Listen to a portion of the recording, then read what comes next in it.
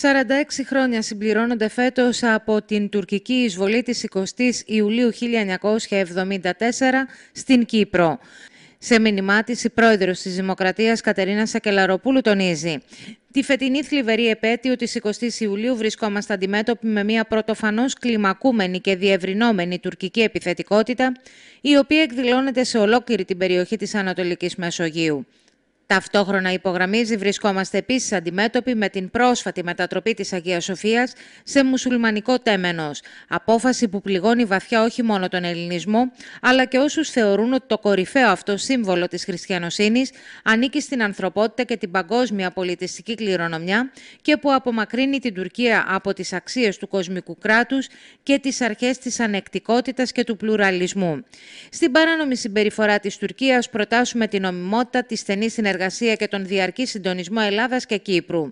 Στους αντίποδες ενεργειών που θέτουν σε κίνδυνο την ειρήνη και τη σταθερότητα, Ελλάδα και Κύπρος ενισχύουμε τις περιφερειακές συνεργασίες μας, οι οποίες συμβάλλουν αποφασιστικά στην ανάπτυξη και την ευημερία της ευρύτερης περιοχής μας, επισημαίνει η πρόεδρος της Δημοκρατίας και συνεχίζει. Εργαζόμαστε με ακλόνητη προσήλωση στις θεμελιώδεις αρχές του διεθνούς δικαίου και του δικαίου της θάλασσας με προσήλωση στον αταλάντευτο εθνικό στόχο και προτεραιότητα που ήταν και παραμένει η εξέβρεση συμπεφωνημένης δίκαιης και βιώσιμης λύσης του Κυπριακού ζητήματος στη βάση των αποφάσεων του Συμβουλίου Ασφαλείας του ΟΗΕ και της απρόσκοπτης εφαρμογής του ευρωπαϊκού κεκτημένου σε ολόκληρη την Κυπριακή επικράτεια. Αναφερόμενη στην επίλυση του Κυπριακού υπογραμμίζει ότι επιδιώκεται λύση η οποία θα απαλλάξει επιτέλους την Κύπρο από τα τουρκικά στρατεύματα κατοχής και θα καταργήσει το κατακινείο διεθνή ομολογία, μη βιώσιμο σύστημα των εγγυήσεων και των δικαιωμάτων επέμβασης τρίτων στις υποθέσεις της Κυπριακής Δημοκρατίας. Παράλληλα υπενθυμίζει, 46 χρόνια έχουν περάσει από την τουρκική εισβολή στην Κύπρο και η οδύνη παραμένει αμύωτη. Δεν ξεχνάμε τη βαρβαρότητα της τουρκικής εισβολής, δεν ξεχνάμε τις εγκληματικές χρόνιες συνέπειές της, τον ξεριζωμό και την προσφυγιά, το συνεχιζόμενο δράμα των οικογενειών των αγνοουμένων, τη μαζική παραβίαση των ανθρωπίνων δικαιωμάτων, τη σύλληση των πολιτιστικών μνημείων, το βίαιο διαχωρισμό Ελληνοκυπρίων και Τουρκοκυπρίων, τον τουρκικό επικισμό. Δεν ξεχνάμε ότι 46 χρόνια μετά η τουρκική κατοχή συνεχίζεται. Και καταλήγει, η Ελλάδα θυμάται πάντα και τιμά τους πεσόντες της τουρκικής εισβολής, τους αγνοούμενους και τους ζώντες Κύπριους και Ελλαδίτες, οι οποίοι το 1974 υπερασπίστηκαν με γενναιότητα και σθένος την ελευθερία της Κύπρου από τον Τούρκο εισβολέα. 46 χρόνια από την τουρκική εισβολή η πληγή της Κύπρου εξακολουθεί να αιμορραγεί, αλλά και τον ουρανό ολόκληρης της περιοχής συνεχίζουν δυστυχώς να σκεπάζουν όλο και περισσότερα σύννεφα προκλήσεων από τον ίδιο ένοχο, τονίζει σε μήνυμά του ο Πρωθυπουργός Κυριάκος Μητσοτάκης για τη θλιβερή επέτειο της τουρκικής εισβολής στην Κύπρο. Στην παράνομη κατοχή ευρωπαϊκού εδάφους προστίθενται τώρα επισημένοι και αλλεπάλληλες επιθετικές ενέργειες που αμφισβητούν κυριαρχικά δικαιώματα της Ελλάδας και της Κυπριακής Δημοκρατίας δημοκρατίας, κινήσεις εκτός διεθνούς δικαίου, νάρκες στη σταθερότητα και την ασφάλεια στη Μεσόγειο, αλλά και ανιστόρητες αποφάσεις, προσβολές στον παγκόσμιο πολιτισμό, όπως η μετατροπή της Αγίας Σοφίας σε απλό τέμενος. Η επέτειος της ντροπής, αντί να προκαλεί την Τουρκία μια λυτρωτική αυτοκριτική, την βρίσκει να διολυσθένει μακριά από την νομιμότητα, την Ευρώπη και τις αξίες του 21ου αιώνα. Απέναντι σε αυτά τα δεδομένα, ο ελληνισμός αντιδρά με οριμότητα και αποφασιστικότητα, με πίστη στη δικαιοσύνη και στην επανέναρξη ενός διαλόγου που θα φέρει βιώσιμη λύση στο μαρτυρικό νησί. 46 χρόνια μετά δεν ξεχνάμε το σύνθημα «Δεν ξεχνώ». Αγωνιζόμαστε για μια Κύπρο ενωμένη και ευρωπαϊκή. Για μια Ελλάδα που θα προοδεύει με πηξίδα το δίκαιο σε αρμονία με τους γείτονές της και για μια Μεσόγειο γόνιμης ειρήνης. 46 χρόνια μετά δεν επιτρέπουμε στη λύθη να γίνεται εμπόδιο στη λύση.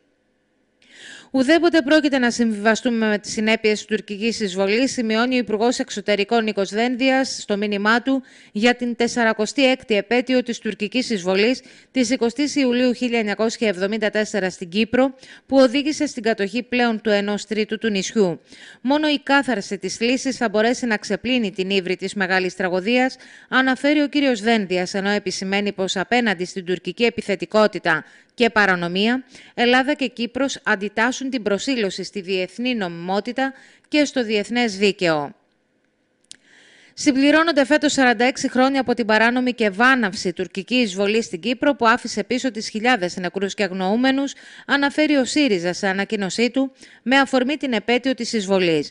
Τονίζει ότι η φετινή μαύρη επέτειος έρχεται σε μια συγκυρία όπου η τουρκική κυβέρνηση κλιμακώνει την επιθετικότητά της στην ευρύτερη περιοχή της Ανατολικής και Κεντρικής Μεσογείου και πως ειδικά για την Κύπρο η στρατηγική αυτή εκφράζεται με τις συνεχιζόμενες παράνομες τουρκικές ενέργειες στην Κυπριακή ΑΟΣ. Ο ΣΥΡΙΖΑ σημειώνει ότι η διεθνής κοινότητα και ειδικότερα η Ευρωπαϊκή Ένωση, διδασκόμενη από τα μαθήματα της ιστορίας, πρέπει να αναλάβει τις ευθύνες της για να τερματιστεί η τουρκική επιθετικότητα και να δημιουργηθούν οι προϋποθέσεις για διάλογο. Και καταλήγει, στεκόμαστε αλληλέγγυοι στον Κυπριακό λαό, Ελληνοκύπριους και Τουρκοκύπριους. Στηρίζουμε την προσπάθεια για επανέναρξη των συνομιλιών στη βάση των αποφάσεων του ΟΕΕ και του πλαισίου Γκουτέρες για δίκαιη και βιώσιμη λύση του Κυπριακού στο πλαίσιο μιας διζωνικής δικοινοτικής ομοσπονδίας. Και το ΚΚΕ στο μήνυμά του τονίζει, συμπληρώνονται φέτος 46 χρόνια από το έγκλημα σε βάρος του Κυπριακού λαού με την τουρκική εισβολή και τη συνεχιζόμενη κατοχή του 37% της Κύπρου που πραγματοποιήθηκε με τις ευλογίες του ΝΑΤΟ και των Ηνωμένων Πολιτειών Αμερικής και αφού πρώτο το δρόμο άνοιξε το πραξικόπημα της ελληνικής Χούντας και της ΕΟΚΑ σε βάρος της κυβέρνησης Μακάριου. Όπως τότε, έτσι και σήμερα, η ΙΠΑ και το ΝΑΤΟ ενθαρρύνουν την τουρκική επιθετικότητα ενώ σε συνεργασία με την αστική τάξη της Ελλάδας μεθοδεύουν τη συνδιαχείριση στην Ανατολική Μεσόγειο και το Αιγαίο. Όπως τότε έτσι και σήμερα οι εξελίξεις στο Κυπριακό και συνολικά στην Ανατολική Μεσόγειο, όντας αναπόσπαστα δεμένες με τους φοδρούς ανταγωνισμούς για τον έλεγχο της κρίσιμης γεωστρατηγικής περιοχής, μπαίνουν σε φάση επικίνδυνης κλιμάκωσης με θύματα τους, λαού, τους λαούς. Σημάδι κλιμάκωσης τουρκικής επιθετικότητας αποτελεί απαράδεκτη απόφαση για τη μετατροπή της Αγιάς Σοφιάς σε τζαμί. Τα ιστορικά αυτά διδάγματα και η σύγχρονη πείρα αποδεικνύουν ότι οι δίθεν ισχυροί σύμμαχοι, οι Ηνωμένες Πολιτείες Αμερικής, η Ευρωπαϊκή Ένωση, το ΝΑΤΟ, όχι μόνο δεν επιθυμούν να αναχαιτήσουν, αλλά αντίθετα υποθάλπουν την τουρκική επιθετικότητα με στόχο να την τραβήξουν από την επιρροή της Ρωσίας και να μην διαραγεί η ενότητα της Ατλαντικής Συμμαχίας, σημειώνει το ΚΚ, καλώντας τον ελληνικό λαό σε επαγρύπνηση μπροστά στα επικίνδυνα σχέδια που ετοιμάζονται ενάντια στον ίδιο και τους γειτονικούς λαούς. Και καταλήγει η ανακοίνωση. Οι ίδιες οι εξελίξεις στην περιοχή μας κάνουν πιο επιτακτική την ανάγκη να δυναμώσει πάλι για καμία αλλαγή συνόρων την απεμπλοκή της Ελλάδας από τα σχέδια των ΗΠΑ, του ΝΑΤΟ και της Ευρωπαϊκής Ένωσης στην περιοχή και την αποχώρηση από όλες τις συμπεριαλιστικές αποστολές στο εξωτερικό, την αποδέσμευση από το ΝΑΤΟ και την Ευρωπαϊκή Ένωση, το κλείσιμο της βάσης της Σούδας και των άλλων Αμερικανικών βάσεων, καταλήγει η ανακοίνωση του ΚΚΕ.